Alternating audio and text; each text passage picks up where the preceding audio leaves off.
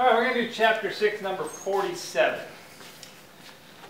47 says a truck with a heavy load has a total mass of 7,500 kilograms. It is climbing an incline at 15 degrees. So we have an inclined plane,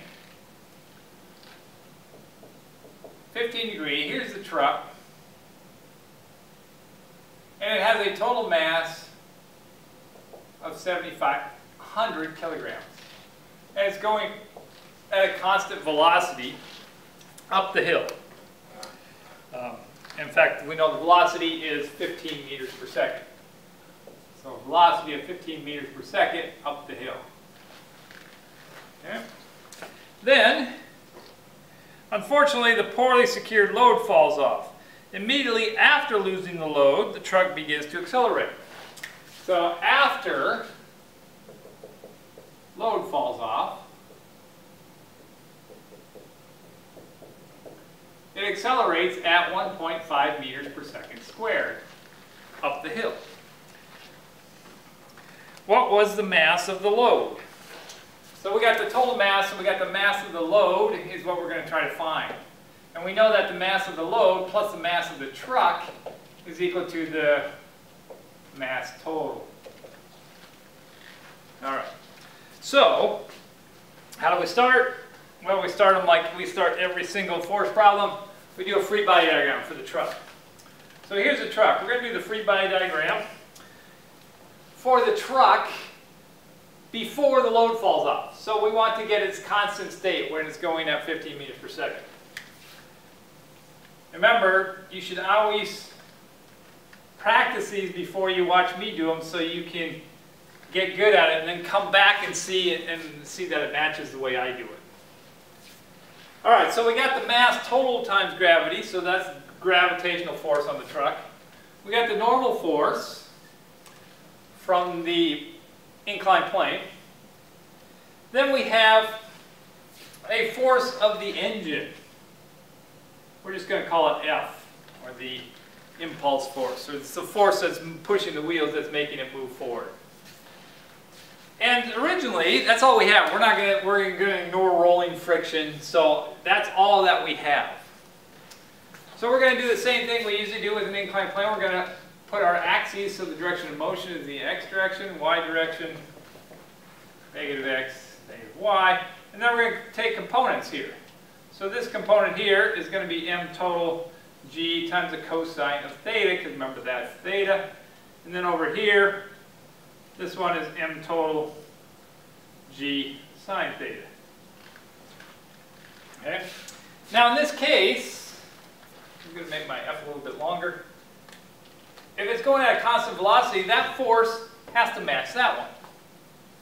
So what we're going to do is f net x. And it's going to be the force applied by the engine minus mg sine of theta, m total, g sine theta.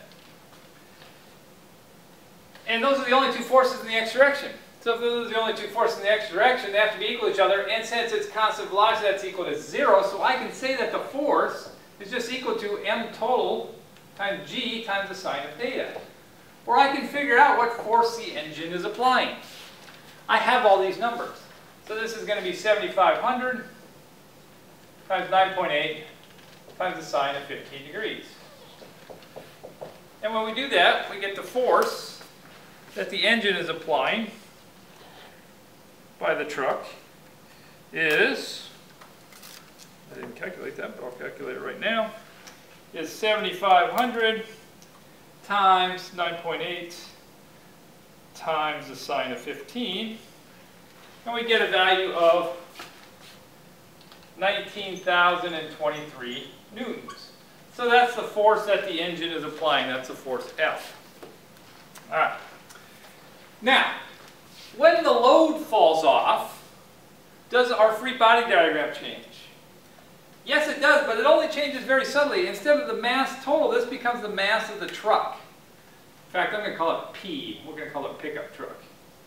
So that we don't get confused with total. So this just changes to the mass of the pickup truck. And the difference is, is that since this is smaller, these reduce. So the length of our arrows reduces, which means that this force is greater than this force, which means it's accelerating up the hill and we know what its acceleration is. So then we're going to do over here, after load falls off,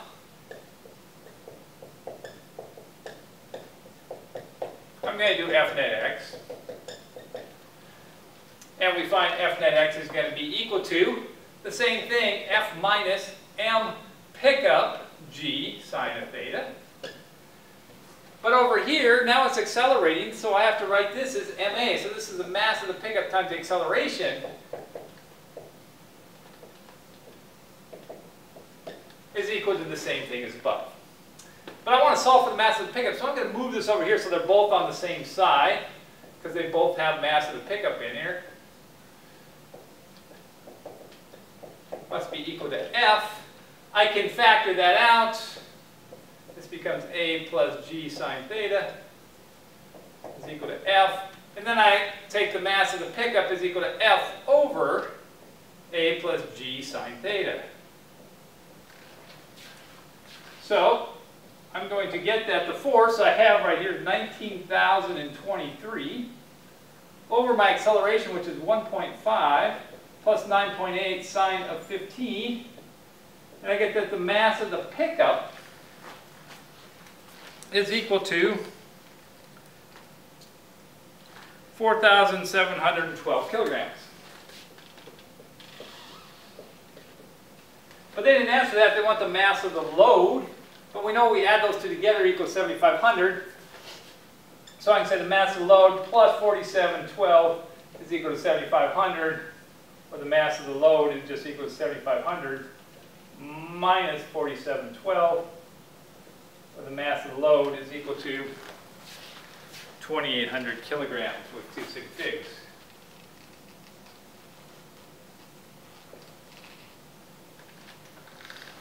There you go.